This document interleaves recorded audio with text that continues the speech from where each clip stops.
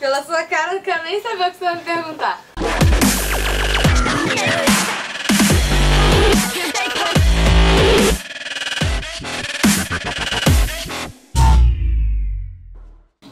Gabi, você lançou há pouco tempo o clipe da sua música Vale Tudo. Pra você, no relacionamento, vale tudo mesmo? Vale, gente. Essa música ela foi inspirada totalmente na Gabi. É... é minha personalidade mesmo. Eu trago muita verdade nessa música. Eu acho que se você ama a pessoa, né, dentro de quatro paredes, vale tudo. Na sua performance no Polidense, você já fez alguma aula, já fez alguma cena exclusiva pro seu namorado? Chega com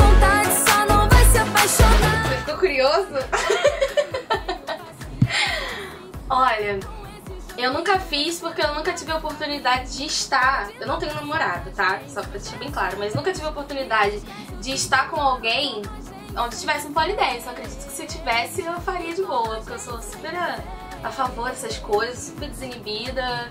Eu acho que vale tudo você estar com um cara ali, satisfazer ele de todas as formas. Eu super faria polidense, coisa. E por que? Você gostaria que fizesse pra você? Amar, iria amar.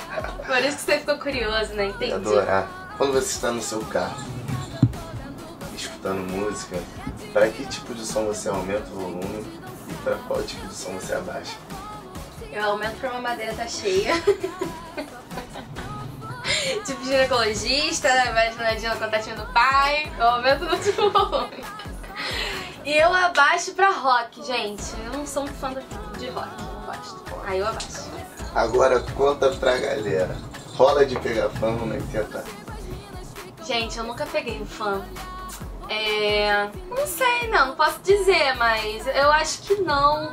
Porque a partir do momento que eu tô ali no show, né, que eu chego pra cantar e tal, eu levo, eu levo muito lado profissional. Né? eu até perguntei se se tranca com as suas fãs no camarim e tal, mas você é homem, pra você é bem mais fácil, né? Porque eu que sou mulher fica muito mais complicado. Então eu vou mesmo pelo lado profissional, trato todos os fãs iguais e nunca rolou pegar fã, não. Agora o momento verdade ou consequência. Hum. É verdade que no seu camarim não pode faltar chocolate? É verdade. Eu amo chocolate, gente, mas não era pra botar isso em público, né? Agora acabaram comigo, mas tudo bem. É verdade que você já recebeu cantadas até de mulheres? É verdade.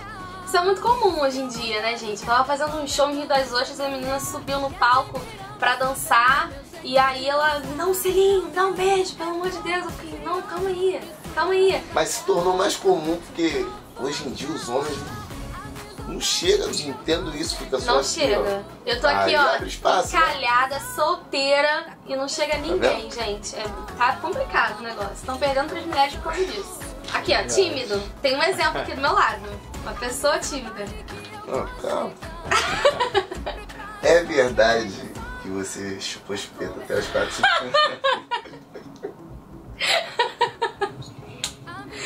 Não, gente.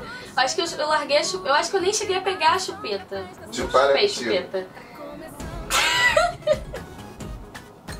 chupeta não.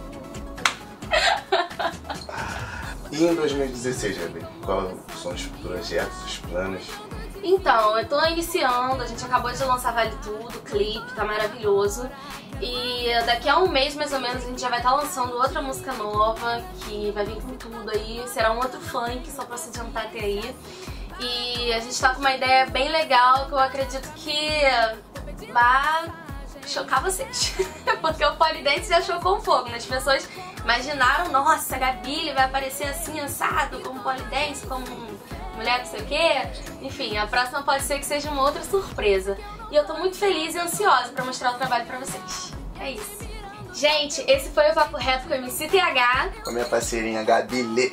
Assinem e se inscrevam no canal da Rádio FMG pra vocês assistirem com exclusividade. É o bicho.